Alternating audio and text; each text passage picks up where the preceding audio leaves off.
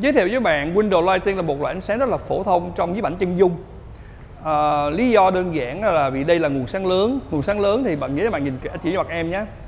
À, thì cái vùng chuyển từ đây sang đây sẽ mềm mại. Người mẫu không phải đứng trực tiếp dưới nắng mặt trời cho nên các cơ trên mặt nó dịu nó relax.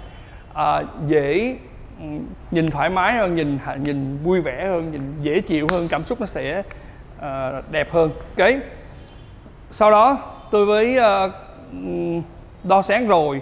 À, tôi sẽ posing mười 11 cái mặt phía bên này nhiều hơn.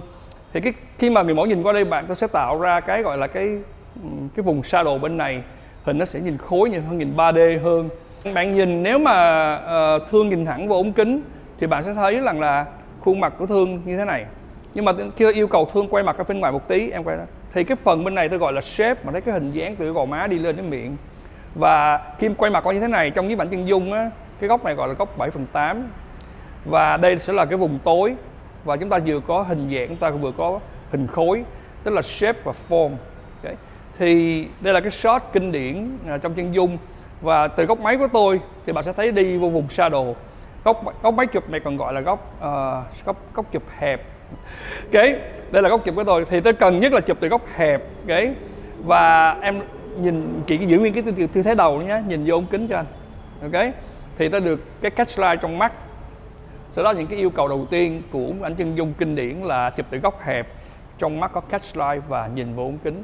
Và ta sẽ thực tấm chụp cho các bạn xem bây giờ liền đây là shot đầu tiên của tôi. À, với cái ánh nguồn sáng lớn như thế này hướng sáng như thế này ờ, bạn nhìn nhìn, nhìn, nhìn cam, mấy camera bạn thấy rồi thì tôi đang cố cố cố gắng tạo ra một cái shot kinh điển trong những ảnh chân dung. Nó gọi là Rembrandt lighting. Không biết tôi nói từ từ đó bằng tiếng pháp hay tiếng anh hay là tiếng hà lan có đúng hay không nhưng mà Rembrandt lighting. Có nghĩa là đây là nguồn sáng lớn ờ, uh, window lighting. Nếu bạn muốn hiểu theo nghĩa là window lighting hãy nghĩ như vậy. Ok thì giờ đầu tiên tôi cần phải điều khiển model đúng cái ý đồ của tôi cái đã. Thì uh, thương em uh, quay đối diện anh Hà. Em diễn viên đó nhé xong rồi em à, xoay mặt qua đây chút xíu. Em bước sang cửa, cửa sổ cho anh là tí thôi nửa bước thôi. That's good. Anh cần góc chụp. Rồi à, em hơi ngã tới chút xíu ngã tới nhẹ thôi ok. Rồi cúi đầu xuống chút xíu that's good. Mắt nhìn vô ống kính tôi đã đo sáng rồi ha. Thì giờ là góc chụp của tôi ngay chỗ này. Thì là shot đầu tiên của tôi trong nhiếp ảnh uh, uh, window lighting. Rồi nhìn vô ống kính luôn that's good đẹp quá. Diễn nguyên cho anh.